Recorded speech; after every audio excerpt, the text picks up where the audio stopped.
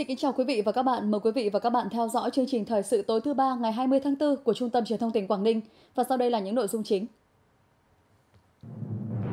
Hội nghị trực tuyến toàn tỉnh sơ kết bước 2 triển khai công tác bầu cử đại biểu Quốc hội khóa 15 và đại biểu Hội đồng Nhân dân các cấp, nhiệm kỳ 2021-2026.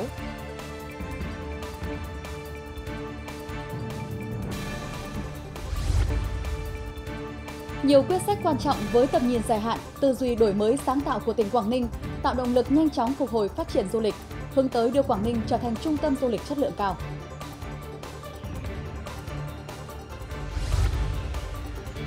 Tỉnh Quảng Ninh cơ bản hoàn thành tiêm chủng vaccine AstraZeneca phòng COVID-19 đợt 1 năm 2021 và đã sẵn sàng triển khai tiêm đợt tiếp theo.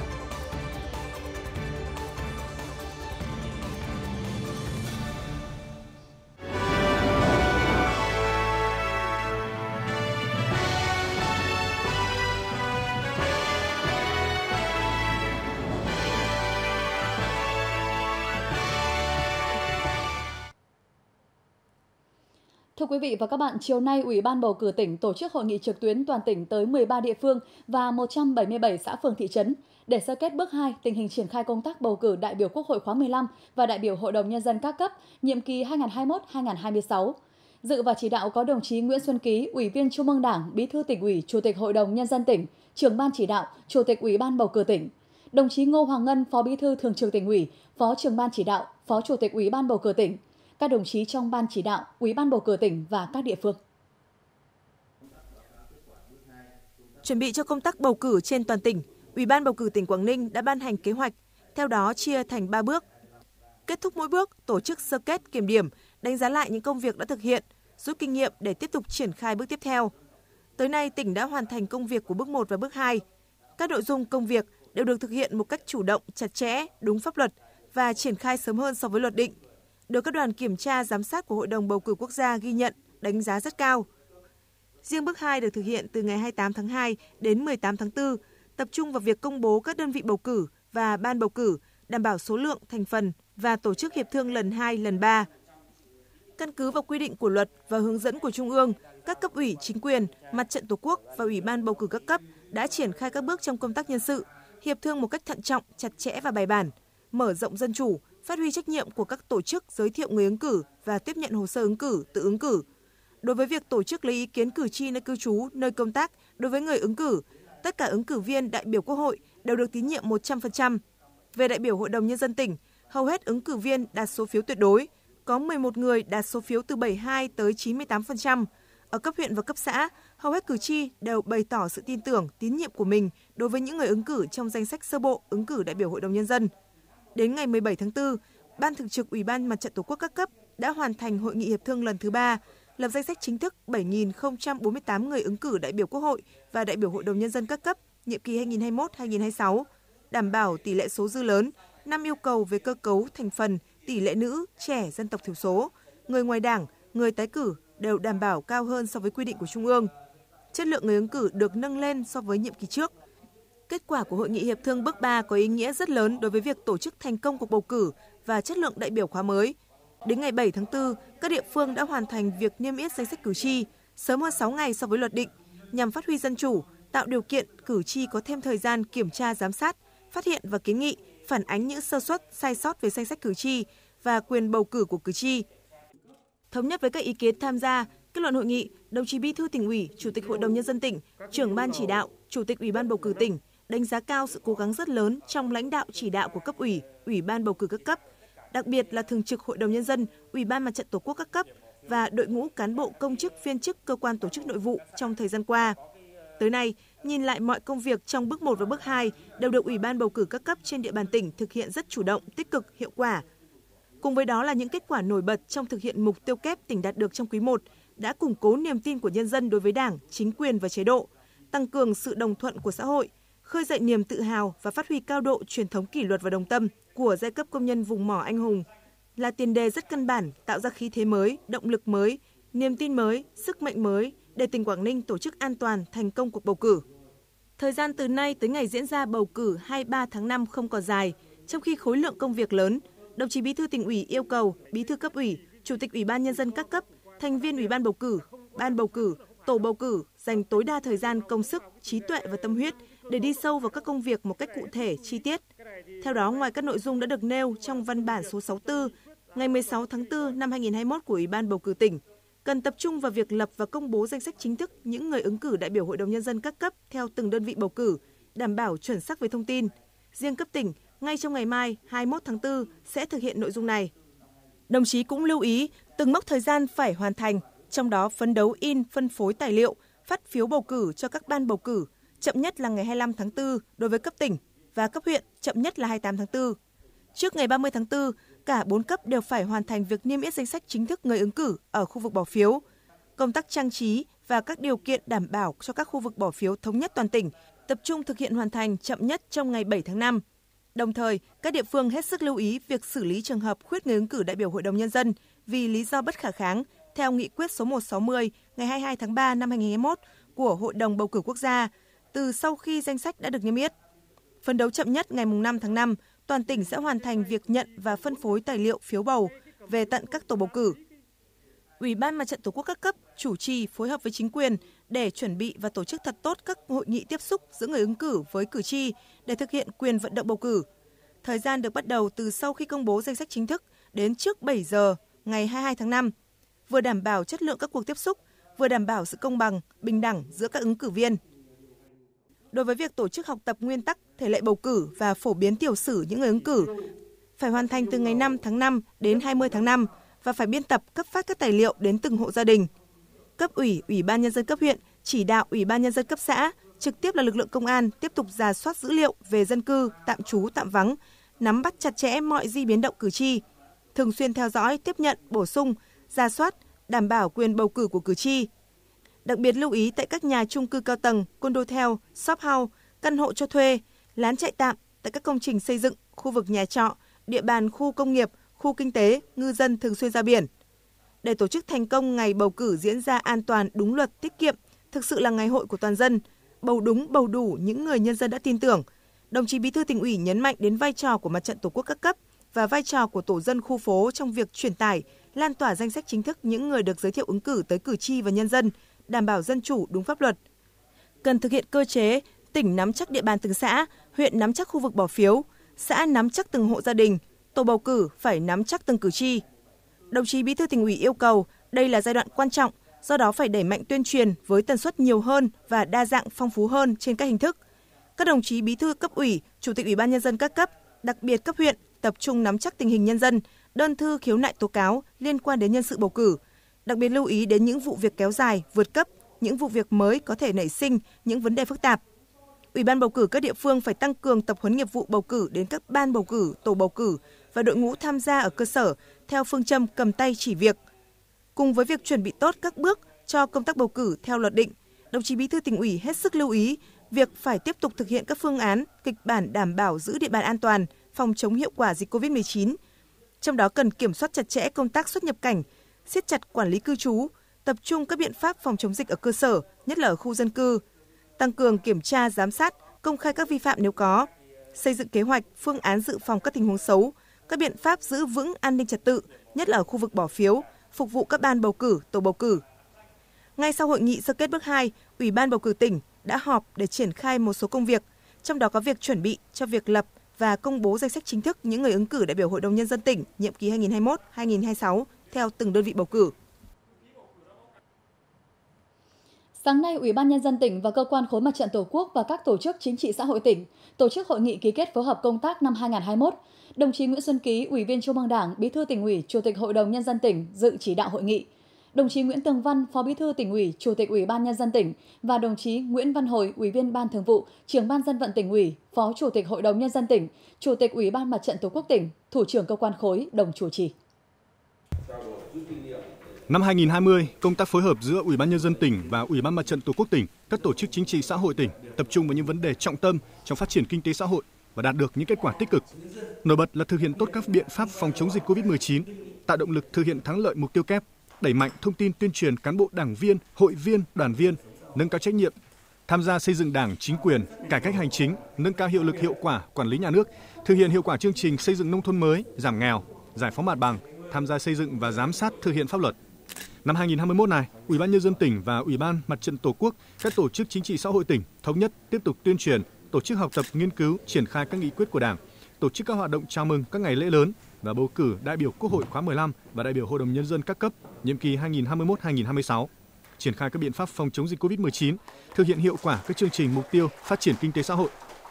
Phát biểu chỉ đạo hội nghị, đồng chí Nguyễn Xuân Ký, Ủy viên Trung ương Đảng, Bí thư tỉnh ủy, Chủ tịch Hội đồng nhân dân tỉnh đánh giá cao kết quả phối hợp của Ủy ban nhân dân tỉnh và Ủy ban Mặt trận Tổ quốc và các tổ chức chính trị xã hội tỉnh, góp phần thực hiện thắng lợi mục tiêu kép của tỉnh trong năm 2020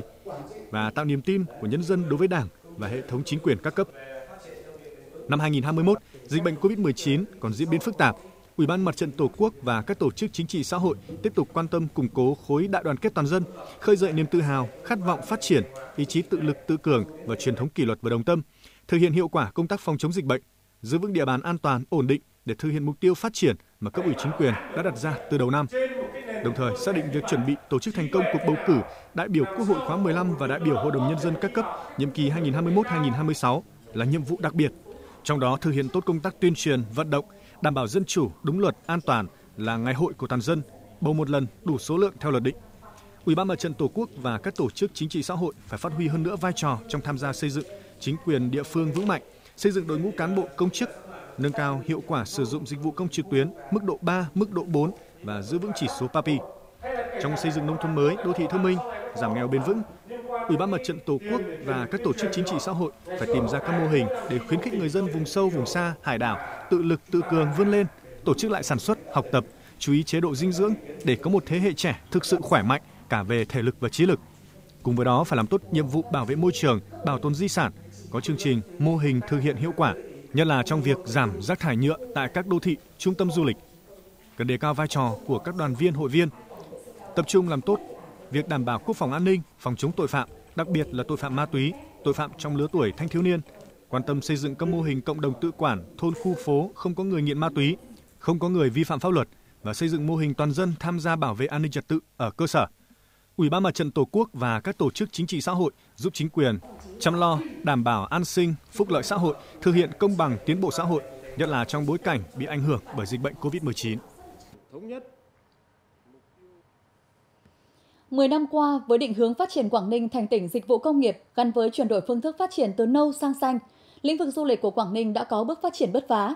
Cùng với quan tâm xây dựng các quy hoạch tổng thể phát triển du lịch mang tính chiến lược, tỉnh Quảng Ninh cũng ban hành nhiều quyết sách quan trọng có tầm nhìn dài hạn, tư duy đổi mới, sáng tạo, hướng tới mục tiêu trở thành trung tâm du lịch chất lượng cao của khu vực phía Bắc và cả nước. Ngay cả trong bối cảnh gặp nhiều khó khăn do ảnh hưởng của đại dịch COVID-19, Hội đồng Nhân dân tỉnh đã chủ động ban hành kịp thời 4 nghị quyết kích cầu dành riêng cho du lịch với giá trị hàng trăm tỷ đồng, tạo động lực nhanh chóng phục hồi ngành kinh tế mũi nhọn, đóng góp tích cực vào mức tăng trưởng GDP cả năm 2020 của tỉnh đạt 10,05%. Sau 2 tháng ngưng trệ hoạt động do ảnh hưởng của đại dịch COVID-19, ngày 14 tháng 5 năm 2020, ngay khi mở cửa du lịch trở lại, Hội đồng Nhân dân tỉnh đã ưu tiên ban hành nghị quyết số 256 về một số giải pháp hỗ trợ kích cầu du lịch, tập trung vào thị trường nội địa, có hiệu lực ngay khi được ban hành. Theo đó, gói kích cầu có giá trị 200 tỷ đồng, miễn vé tham quan Vịnh Hạ Long, Yên Tử và Bảo tàng Quảng Ninh cho toàn bộ du khách trong các ngày lễ, đồng thời giảm 50% giá vé các ngày còn lại trong tháng 6 và tháng 7. Cùng với đó, tiếp tục hỗ trợ phương tiện, vé tham quan miễn phí đến một số điểm du lịch của tỉnh cho hành khách các chuyến bay đi và đến qua cảng hàng không quốc tế Vân Đồn. Giải pháp kích cầu đã phát huy hiệu quả tích cực. Du lịch Quảng Ninh có thời điểm đón lượng khách kỷ lục, đông hơn cả khi cao điểm không có dịch. Được cộng đồng doanh nghiệp đánh giá cao. Tỉnh Quảng Ninh đã rất là sớm đã có một cái nghị quyết chuyên đề để kích cầu du lịch và có những cái chính sách hỗ trợ đặc biệt cho cái hoạt động du lịch để làm sao chúng ta thực hiện tốt cái uh, uh, chương trình kích cầu tức là người du Việt Nam đi du lịch Việt Nam. Trước những thiệt hại nặng nề của các đợt bùng phát dịch COVID-19, Hội đồng Nhân dân tỉnh tiếp tục ban hành thêm hai nghị quyết số 266 và nghị quyết số 286, bổ sung miễn giảm 50% giá vé nghỉ đêm trên vịnh cho du khách, kéo dài thời gian ưu đãi đến hết năm 2020. Chủ động nhận diện những khó khăn thách thức của lĩnh vực du lịch do dịch bệnh, ngay từ cuối năm ngoái, Hội đồng Nhân dân tỉnh cũng sớm ban hành nghị quyết số 316 tiếp tục kích cầu du lịch Quảng Ninh trong cả năm 2021. Chỉ trong vòng một năm, bốn gói kích cầu dành riêng cho du lịch giá trị hàng trăm tỷ đồng được ban hành là động lực giúp ngành kinh tế mũi nhọn lấy lại đà tăng trưởng. Đây là cơ sở để các doanh nghiệp kinh doanh dịch vụ du lịch chủ động liên minh liên kết, xây dựng các gói sản phẩm ưu đãi, nâng cao chất lượng dịch vụ gắn với đảm bảo an toàn phòng chống dịch bệnh. Các chính sách cho thấy sự chủ động tích cực của tỉnh trong đồng hành cùng doanh nghiệp tháo gỡ khó khăn, khôi phục hoạt động, từ đó tạo việc làm, ổn định cuộc sống cho hàng ngàn lao động sau dịch bệnh. Do đại dịch Covid thì có những thời điểm chúng tôi đi làm thì cũng à, gián đoạn. Tuy nhiên là cho chính sách kích cầu của tỉnh à, dẫn đến là những à, khách du lịch đã trở lại với Quảng Ninh và công ờ, những ờ, công việc của chúng tôi cũng đã được ổn định hơn, cuộc sống cũng đã được ờ, ổn định trở lại. Nhờ hiệu quả kích cầu du lịch, trong bức tranh chung về du lịch cả nước năm 2020, Quảng Ninh nổi lên như một điểm sáng, thu hút được 8,8 triệu lượt khách và là địa phương duy nhất trong cả nước có khu vực dịch vụ chiếm chủ đạo nhưng vẫn đạt tăng trưởng GDP hai con số 10,05%. Từ đầu năm đến nay, dù tiếp tục chịu ảnh hưởng của dịch bệnh, du lịch Quảng Ninh vẫn đón trên 1,4 triệu lượt khách. Khảo sát mới nhất của Hội đồng Tư vấn Du lịch phối hợp với VN Express cho thấy, Quảng Ninh hiện là một trong 10 điểm đến trong nước được khách Việt ưa thích nhất. Thường khi khi mà kết thúc một cái hành trình, à, chúng tôi luôn luôn lắng nghe ý kiến đóng góp của phía khách hàng. Đối với là Quảng Ninh thì chúng tôi luôn nhận được cái sự à, gọi là cái cảm nhận rất là tốt bởi vì lý do hạ tầng của Quảng Ninh à, phát triển rất là tốt. Các cái đối tượng dịch vụ thí dụ như hiện nay là từ việc ngủ trên tàu nè, rồi di chuyển các nơi nè, rồi sau đó nữa là các cái hạ tầng về khách sạn, các cái khu resort nghỉ dưỡng, kể cả luôn là hệ thống về ẩm thực ở phía Quảng Ninh có thể nói là đã tạo được cái sự phấn khích đối với lại du khách ở các nơi, đặc biệt nhất là khách ở phía Nam. Mình đến với Quảng Ninh nhiều lần, thực ra là một, một phần là mình thích, cái thứ hai là ở đây có rất nhiều chương trình ưu đãi về ít nhất là về giá. Ví dụ như ở đây thì hiện tại Bảo tàng Quảng Ninh cũng có chính sách giảm 50% này, hay là ở bên Sun World với Sun Wheel Dragon Park cũng có chương trình giảm giá, thế cho mình muốn quay lại để trải nghiệm được rất nhiều cái dịch vụ đa dạng ở đây. Tận dụng cơ hội an toàn dịch bệnh trong trạng thái bình thường mới, cùng với các chính sách ưu đãi của tỉnh, các doanh nghiệp du lịch hiện đang tích cực khôi phục hoạt động, chủ động cùng ngành du lịch Quảng Ninh xây dựng, khai thác các sản phẩm du lịch mới, phát huy hiệu quả liên kết vùng để lan tỏa hiệu ứng kích cầu du lịch, tổ chức chuỗi các hoạt động văn hóa, thể thao, du lịch hấp dẫn, thu hút du khách trong cả năm. Trước mắt là mùa cao điểm du lịch hè. Cùng với đó, tiếp tục thực hiện nghiêm công tác phòng chống dịch bệnh, đảm bảo an toàn cho du khách. Các giải pháp tăng cường xúc tiến quảng bá du lịch, hướng đến mở rộng thị trường khách tiềm năng tại các khu công nghiệp, tập đoàn kinh tế lớn, các địa phương lân cận và cả thị trường phía Nam cũng đang được ngành du lịch tích cực triển khai. Rút kinh nghiệm những cái việc đã làm rất là thành công vào năm 2020. Ờ, cách làm của chúng ta thì có cái sự đổi mới là chúng ta sẽ tổ chức cái việc ờ, kích cầu giới thiệu đến các cái địa bàn ờ, những cái tỉnh mà có cái nguồn khách lớn, đặc biệt là những tỉnh mà có những cái khu công nghiệp rất lớn và chúng ta biết là ờ, không những cái tỉnh phía Bắc mà kể cả các tỉnh phía Nam, đặc biệt là những tỉnh như là Bình Dương, như Đồng Nai, như là Tây Ninh là tỉnh mà có nguồn khách tại những cái khu nghiệp rất lớn. Từ kinh nghiệm qua 3 đợt bùng phát dịch COVID-19 từ năm 2020 đến nay cho thấy sự chủ động linh hoạt của Hội đồng Nhân dân tỉnh trong ban hành các chính sách kích cầu có vai trò tiên quyết giúp khôi phục và phát triển ngành du lịch. Ngành kinh tế mũi nhọn của Quảng Ninh đang có xu hướng phục hồi tích cực, khẳng định thương hiệu điểm đến an toàn, thân thiện, hấp dẫn. Đây cũng là động lực để Quảng Ninh tiếp tục phấn đấu đón 10 triệu lượt khách du lịch trong năm nay. Theo chính sách kích cầu du lịch của tỉnh, ngày mai dỗ tổ Hùng Vương, du khách được miễn phí tham quan lưu trú trên Vịnh Hạ Long, tham quan Bảo tàng Quảng Ninh và khu di tích danh thắng Yên Tử. Riêng tại tổ hợp vui chơi giải trí Sun World Hạ Long Complex, cùng với cáp treo nữ hoàng, vòng quay mặt trời, công viên Dragon Park cũng mở cửa đón khách. Các dịch vụ được áp dụng mức giá ưu đãi từ 30 đến 60%. Dịp nghỉ lễ 30 tháng 4, mùng 1 tháng 5 tới đây, Vịnh Hạ Long, Bảo tàng Quảng Ninh, khu di tích danh thắng Yên Tử cũng sẽ tiếp tục miễn phí tham quan cho du khách. Để tăng thêm trải nghiệm thu hút du khách, kéo dài thời gian lưu trú tại Quảng Ninh, sẽ có nhiều sự kiện hoạt động du lịch văn hóa thể thao hấp dẫn diễn ra liên tục suốt kỳ nghỉ lễ cũng như cao điểm du lịch hè.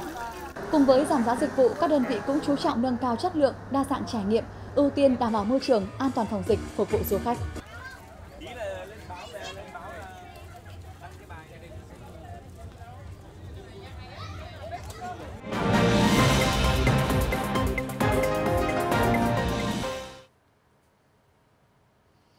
Sáng nay, đồng chí Ngô Hoàng Ngân, Phó Bí thư Thường trực Tỉnh ủy kiểm tra tiến độ triển khai dự án đầu tư xây dựng mở rộng trường Trung học phổ thông Hòn Gai.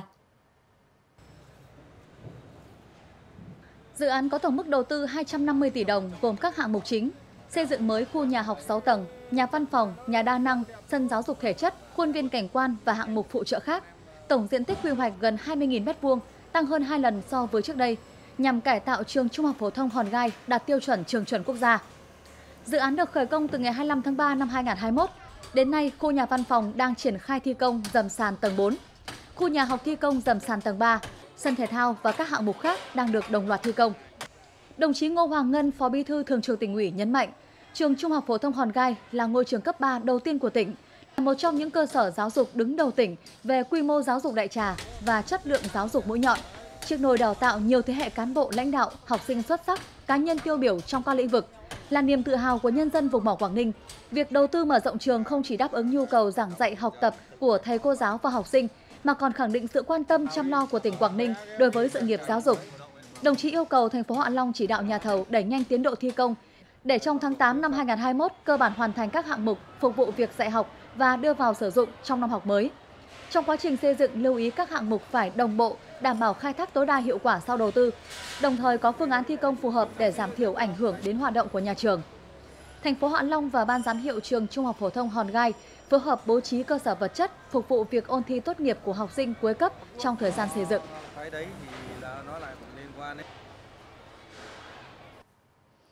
Hôm nay, đoàn công tác Bộ Nông nghiệp và Phát triển Nông thôn do Thứ trưởng Phùng Đức Tiến làm trưởng đoàn khảo sát địa điểm đầu tư xây dựng Trung tâm Giao dịch Nông lâm Thủy sản Châu Á-Thái Bình Dương tại thành phố Móng Cái. Cùng đi có Phó Chủ tịch Ủy ban Nhân dân tỉnh Bùi Văn Kháng. Trung tâm Giao dịch Nông lâm Thủy sản Châu Á-Thái Bình Dương dự kiến được đầu tư xây dựng tại km 3 4 sông Ca Long, thành phố Móng Cái với diện tích trên 95 ha, tổng mức đầu tư 2.760 tỷ đồng. Theo đề xuất của tỉnh Quảng Ninh, trung tâm này sẽ là nơi thúc đẩy hoạt động giao thương hoa quả, nông sản, lâm sản, hải sản trực tiếp sang thị trường Trung Quốc với lượng hàng hóa trên 1 triệu tấn một năm. Thứ trưởng Bộ Nông nghiệp và Phát triển Nông thôn Phùng Đức Tiến hoàn toàn nhất trí với đề xuất của tỉnh và đề nghị Quảng Ninh có báo cáo chính thức trước ngày 23 tháng 4 để Bộ tổng hợp báo cáo các bộ ngành liên quan và Thủ tướng Chính phủ nghiên cứu dành nguồn vốn ODA cho dự án này. Làm việc với Ủy ban nhân dân tỉnh về công tác phòng chống dịch bệnh trên vật nuôi, tình hình triển khai chiến lược phát triển thủy sản Việt Nam đến năm 2030 và chiến lược phát triển chăn nuôi giai đoạn 2021-2030. Thứ trưởng Bộ Nông nghiệp và Phát triển nông thôn đánh giá cao tốc độ tăng trưởng của ngành nông nghiệp Quảng Ninh trong quý 1 đạt 3,5% và đã triển khai đúng hướng theo hai chiến lược của Thủ tướng Chính phủ về lĩnh vực thủy sản và chăn nuôi. Riêng đối với thủy sản, đề nghị Quảng Ninh nghiên cứu tính toán giảm hạn ngạch khai thác và tăng hạn ngạch nuôi biển gắn với bảo tồn môi trường, Bộ nhất trí hỗ trợ tỉnh Quảng Ninh thu hút doanh nghiệp có năng lực đầu tư vào sản xuất giống nhuyễn thể và cá biển, đồng thời tiếp tục bố trí nguồn vốn cho dự án chuyển tiếp cơ sở hạ tầng vùng nuôi trồng thủy sản tập trung trên biển dự kiến hoàn thành trong năm 2021 này và dự án đầu tư hoàn thiện khu neo đậu tránh chú bão cấp vùng kết hợp cảng cá loại 1 tại huyện Cô Tô. Bộ Nông nghiệp và Phát triển nông thôn sẽ làm việc với Bộ Khoa học và Công nghệ để xem xét bổ sung hỗ trợ đối với hai khu nông nghiệp ứng dụng công nghệ cao về thủy sản và chăn nuôi, trồng cây ăn quả, trồng dược liệu tại huyện Đầm Hà.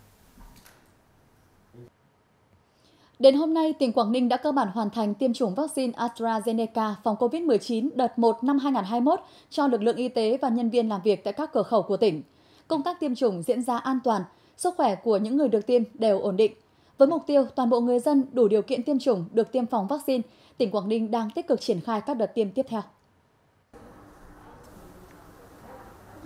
Đến ngày hôm nay, 10 đơn vị y tế trong danh sách tiêm chủng đợt 1 của tỉnh Quảng Ninh đã cơ bản hoàn thành tiêm chủng vaccine AstraZeneca phòng COVID-19. Đã có 3.280 nhân viên y tế và những người làm việc tại cửa khẩu trên địa bàn Móng Cái, Hải Hà, Bình Liêu và sân bay Vân Đồn được tiêm chủng. Việc ưu tiên phòng ngừa COVID-19 cho các lực lượng tuyến đầu có ý nghĩa quan trọng nhằm bảo toàn lực lượng để đối phó với dịch bệnh, nhất là khi làn sóng dịch thứ tư được giới chuyên môn cảnh báo rất có thể sẽ diễn ra. Bản thân tôi là một nhân viên đang công tác tại Trung tâm Y tế Đông Triều. Trong cái đợt dịch Covid-19 vừa rồi thì tôi cũng tham gia vào vào công tác lấy mẫu tại cộng đồng. Lúc đó thì mình cũng rất là lo lắng về các nguy cơ lây nhiễm cho mình và cho đồng nghiệp của mình. Nhưng mà hiện tại thì được trung tâm tổ chức tiêm phòng vaccine Covid-19 thì mình rất là yên tâm, phấn khởi và mình chắc chắn là mình sẽ sẵn sàng ờ, sung xung phong tham gia vào công tác phòng chống dịch. Hiện tại bây giờ chúng tôi đã được tiêm phòng vaccine thì là cũng là một bước ban đầu chúng tôi trải nghiệm việc tiêm vaccine để chúng tôi thực hiện công tác tiêm phòng cho nhân dân trên địa bàn thì mình sẽ có những kinh nghiệm đúc rút từ bản thân mình để mình tư vấn cho người dân tốt hơn. Sau đợt 1, Quảng Ninh sẽ tiếp tục tiêm 9.000 liều vaccine AstraZeneca cho các đối tượng ưu tiên tham gia chống dịch theo nghị quyết 21 của chính phủ. Kinh nghiệm từ đợt 1 cho thấy công tác chuẩn bị, đảm bảo quy trình tiêm nghiêm ngặt, đúng đủ theo quy định chính là yếu tố then chốt để tiêm chủng an toàn, hiệu quả. Ở cái đợt uh, tiêm vaccine đợt 1 ấy, đến ngày hôm nay thì cơ bản chúng ta đã hoàn thành. Để có được cái sự ờ, thành công như ngày hôm nay đấy thì làm một cái sự chuẩn bị rất là chú đáo Ờ, trong cái việc từ cái việc mà phê duyệt kế hoạch của tỉnh ủy, ủy ban cũng như là sở y tế đối với lại cái đợt này. À, do chúng ta có một cái sự chuẩn bị rất được kỹ tất cả các cái điểm tiêm ấy thì kết quả đều rất là an toàn. Và đến giờ phút này là không có sự cố đáng tiếc nào xảy ra cả. Các cái đối tượng tiêm chủng đều ờ, có một sức khỏe tốt và tiếp tục trở lại làm việc. Đây là một trong những cái ờ, thành quả vô cùng quan trọng để chúng ta tiếp tục cho cái việc mà triển khai cái đợt 2 tiêm vaccine ờ, đợt 2 cho những ngày tiếp theo. Theo kế hoạch, đợt 2 năm 2021, Quảng Ninh sẽ tiếp tục tiêm cho gần 5.000 nhân viên y tế tại các bệnh viện, trung tâm y tế và các trạm y tế xã phường, trên 3.300 thành viên ban chỉ đạo phòng chống COVID-19 cấp huyện xã, tổ COVID-19 cộng đồng và cán bộ trong các khu cách ly tập trung, tổ truy vết, điều tra dịch tễ. Trên 470 người thuộc các lực lượng hải quan, cảng vụ hàng hải, hoa tiêu hàng hải làm việc tại cảng Cẩm Phả và cảng Hòn Gai. Trên 250 nhân viên y tế của Trung tâm Y tế Than khu vực Mạo Khê, cán bộ phóng viên của Trung tâm Truyền thông tỉnh, Tiêm chủng đợt 2 sẽ được triển khai từ ngày 21 tháng 4 đến mùng 5 tháng 5. Diễn ra trong 3 ngày từ ngày 18 đến ngày 20 tháng 4, lễ hội truyền thống Bạch Đằng đã thu hút hàng vạn người dân du khách trong và ngoài tỉnh tham dự. Cùng với các di sản văn hóa vật thể như bãi cọc, hệ thống đình đền miếu, lễ hội truyền thống Bạch Đằng chính là di sản văn hóa vô giá, có ý nghĩa và giá trị lịch sử to lớn về chiến thắng Bạch Đằng trong sự nghiệp đấu tranh chống giặc ngoại xâm, khơi nguồn truyền thống giáo dục thế hệ trẻ về lòng yêu nước và tự hào dân tộc. Hiện tỉnh Quảng Ninh cũng đang lập hồ sơ đề cử trình Bộ Văn hóa Thể thao và Du lịch công nhận lễ hội truyền thống Bạch Đằng là di sản văn hóa phi vật thể quốc gia, nhằm giới thiệu những giá trị đặc biệt của lễ hội và khu di tích đến với du khách trong và ngoài nước. Lễ hội truyền thống Bạch Đằng đã tồn tại hàng trăm năm và được thị xã Quảng Yên tổ chức vào tháng 3 âm lịch hàng năm bên bờ bắc sông Bạch Đằng để tưởng nhớ và tôn vinh những chiến thắng lẫy lừng của dân tộc. Cụ thể là chiến thắng của Ngô Quyền trước quân Nam Hán năm 938, chiến thắng của Lê Đại Hành chống quân Tống năm 981 và chiến thắng của Trần Hưng Đạo chống quân Nguyên Mông năm 1288. Âm vang của những chiến thắng oanh liệt trên dòng sông lịch sử được tái hiện sống động trong lễ hội truyền thống Bạch Đằng. Năm nay, lễ hội được tổ chức với quy mô cấp tỉnh với nhiều hoạt động, trong đó độc đáo và hấp dẫn nhất là lễ rước tượng Đức Thánh Trần Hưng Đạo từ đền Trần Hưng Đạo, Miếu Vua Bà về đình Yên Giang và các nghi lễ tế yết truyền thống. Đây cũng là nghi lễ quan trọng nhất của lễ hội. Cái lễ rước của cái lễ rước thần thì ờ, rước tượng rước thần của cái lễ hội Bạch Đằng này nó cũng rất độc đáo. Con này cũng là cái lễ mà độc đáo nhất trong cả nước này. Nhưng mà cái hay của cái đoàn rước này đấy là là tham gia vào cái đoàn rước này thì ngoài cái đoàn chính chúng ta thấy rằng là có là thể tượng này, có quân sĩ nhà Trần này, và đi kè đi cùng với này, tượng Trần Hưng Đạo này. Có sắc phong của Trần Hưng Đạo này. Có tượng của hai người con gái này, vân thì cũng giống nhiều vùng quê khác thôi. Nhưng mà cái khác ở đây là gì? Rất nhiều những cái đoàn rước. Mà thành lập những cái đoàn của mình hẳn nói. Xong tham gia vào cái đoàn rước đấy. Thế thì khi đoàn rước đến đâu thì nhân dân ở trong vùng đấy, chúng ta thấy thì người ta đều bày một cái mâm ờ, gạo rồi ngũ quả ra trước cửa nhà đấy, xong cả gia đình đợi sẵn rồi đấy khi đoàn rước đi qua thì bắt đầu là các cụ thắp các gia đình người ta thắp hương và vái Đây là theo một cái phong tục à, cầu mong ờ, đức thánh cũng như là à, các tướng sĩ nhà trần là phù hộ cho gia đình với những nét độc đáo riêng có, lễ rước tượng Đức Thánh Trần Hưng Đạo đã thu hút hàng trăm đoàn rước và hàng ngàn người tham gia. Từ sáng sớm, người dân nơi đây và các vùng lân cận đã nhộn nhịp chuẩn bị các mâm lễ vật, rộn ràng tham dự đoàn rước. Các đoàn rước lên đến cả nghìn người, kéo dài gần 1 km trên tuyến đường 4 km dọc bờ sông Bạch Đằng. Đoàn đi tới đâu, người dân nhập hội tới đó, đông vui nhộn nhịp. Mỗi khi tham gia cái đoàn rước ờ, lễ hội đằng ấy thì tôi cảm thấy rất là vinh dự và tự hào và mong rằng là hàng năm chúng ta vẫn cứ tổ chức cái này để cho nhân dân được hưởng những niềm vui này. Rất là tự hào, rất là vinh dự và rất là quý hóa. Và cũng uh, hy vọng rằng là uh, sau này đến thế hệ của chúng tôi hay cũng thế hệ sau này nữa cũng mãi mãi lối gót theo chân được và tiếp nối được để tổ chức các sự kiện lễ hội như thế này. Lễ hội Bạch Đằng là một cái lễ hội mang tính tổng hợp, tổng hòa về cả truyền thống văn hóa lẫn cái truyền thống bảo vệ đất nước chiến thắng Ờ, đặc biệt ở trong những cái thế kỷ trước của thời Ngô Quyền và nhất là ở dưới thời của Trần Hưng Đạo. Các cái lễ rước thì có một cái đặc điểm rõ ràng rằng nó có một cái điều, tức là họ giữ được cái truyền thống của các làng xã cũ, đồng thời có một cái đặc điểm là họ vẫn giữ được cái tâm hồn của con người làm nghề nông nghiệp sự trọng thần ừ, như là trọng một cái chân lý của cuộc sống. Những năm qua, tỉnh Quảng Ninh và thị xã Quảng Yên luôn quan tâm, ưu tiên nguồn lực từ ngân sách tỉnh để đầu tư tu bổ tôn tạo di tích Bạch Đằng, xứng tầm là khu di tích quốc gia đặc biệt và phát huy các giá trị lịch sử văn hóa của chiến thắng Bạch Đằng. Đây là niềm tự hào của Đảng bộ, chính quyền và nhân dân các dân tộc tỉnh Quảng Ninh, thị xã Quảng Yên nói riêng và cả nước nói chung. Là người dân Quả Yên thì à, tôi rất tự hào à, hàng năm là, là có lễ hội Bạch Đằng thì là à, nhiều à, tiết mục gọi là mở ra lễ hội để à, à, cho gọi là một cái kỷ niệm của của của cha ông ta ngày xưa để lại để à, đến à, cháu con đến bây giờ để à, rất tự hào rằng công lao của cha ông ngày xưa.